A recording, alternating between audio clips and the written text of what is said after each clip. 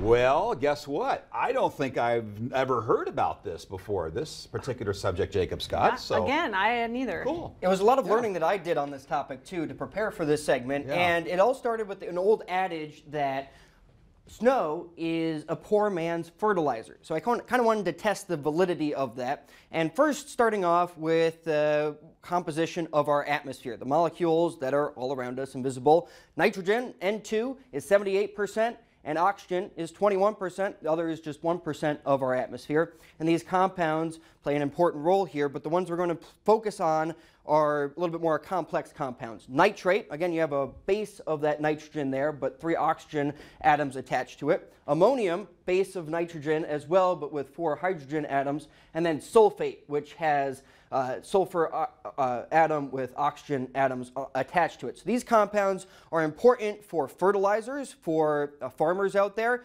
as well as important to measure for trends over time and acid rain and those kinds of things that are important. So with nitrogen specifically, there's a whole cycle throughout our atmosphere and the ground that nitrogen goes through, but plants and crops don't get nitrogen directly from the air. They have to absorb it through their root structure. That's why uh, farmers apply fertilizer, and the fertilizer, which is rich in nitrogen, can help these crops to grow.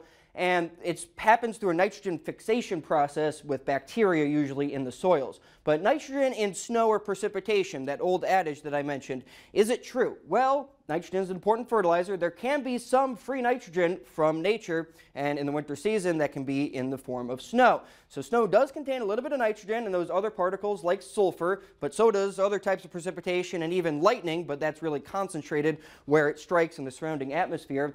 Uh, with rain, though, um, that can wash out the atmosphere, and all those compounds, the particulates, can come down with that rainfall. That's how you get that nitrate and that ammonium to come down to the ground, those bases, uh, compounds that are based on nitrogen.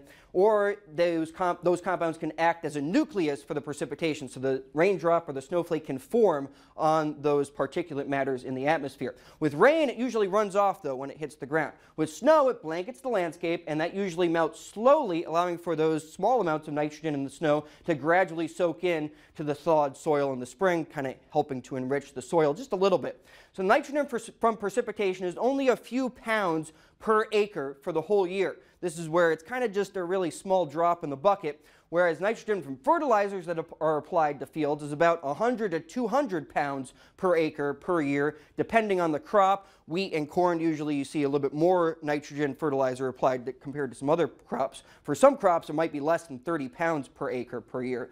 But having snow on the ground can also insulate that soil and protect it from damage throughout the winter season from those free th freeze thaw cycles. That's why it's important to have that snowpack and why this year it's a little bit concerning not having that snowpack on the landscape. But the snow can have a little bit of these compounds in it. So uh, uh, uh, organization measures these compounds, uh, the deposition of them, how much of them fall down to the ground throughout the year. For ammonium, again, NH4, nitrogen-based compound, we get about two pounds per acre per year across North Dakota. With nitrate, NO3, we get about two and a half pounds per acre per year.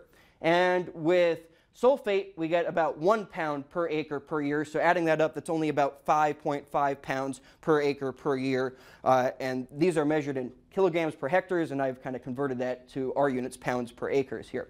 So the program, the organization that measures this is the Na National Atmospheric Deposition Program. They have 200 measurement sites across the country. There's three in North Dakota. This one is in Woodworth in Stutsman County, one in Theodore Roosevelt National Park, one in the northeastern part of the state. It's a precipitation gauge that measures the amount of rain or snow that falls. And then within this bucket here, it measures the concentration. You can multiply that to determine how much nitrate or sulfate or ammonium falls throughout the year. So the collector opens when some precipitation falls through this sensor and then closes up once the precipitation stops. And then someone actually goes there each week, collects the sample at each of these sites, sends it back to the lab so that weekly data can be updated and aggregated for these yearly assessments. So focusing on sulfate and the trends over time. And you can see the concentration of that, that deposition coming down to the ground, um, it has decreased drastically since the 1980s. Now, sulfur is in coal, and when it's burned, that CO2 is released, but also sulfur dioxide. That can convert into sulfuric acid in the atmosphere. And fortunately, the coal industry has found ways to reduce that sulfur and other impurities, and that's why that sulfate has really decreased across uh, the country. And that is also a good thing for lessening the chances of acid rain. That was kind of the whole starting point of the NDAP organization to measure this uh, because the Clean Air Act went into effect and then we really decreased that sulfate in the atmosphere and increased the pH of our rainfall, making it more basic, less acidic, meaning, meaning that the rainfall is a lot cleaner, looking for the pH level from 1985 to today, and you can see that that has increased drastically, and that's a good thing. But the sulfate decrease, that's pretty dramatic, has also some impacts on farmers. With the sulfate that's not falling down from the atmosphere, some people have had to apply more sulfur-based fertilizers, which is kind of interesting. Now with ammonium, again, nitrogen-based compound, and measuring that over time, that has increased since the 1980s.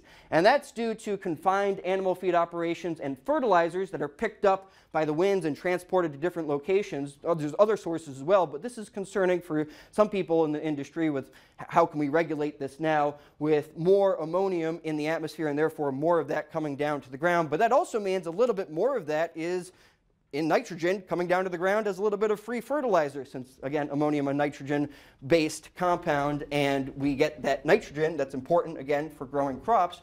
Um, so going back to my original question the nitrogen that falls in snow specifically is a very small percentage of the amount of nitrogen fertilizer that is put down over the year, but it's a little bit there. And it's interesting how these are, uh, compounds are measured and monitored over time to see those trends and how our air and our precipitation is either improving or degrading. And you can really make out to me, Monica, where uh, like Salt Lake City, in a basin that the air pollutants get trapped, Mm-hmm. and you can kind of see some of those uh, things on the map. It's kind of an interesting deal. It is very interesting. And the East Coast too, higher concentration because more farms, more people. Yeah, Yep. right. Very good. Makes good good stuff. sense. I learned something new there. Yeah.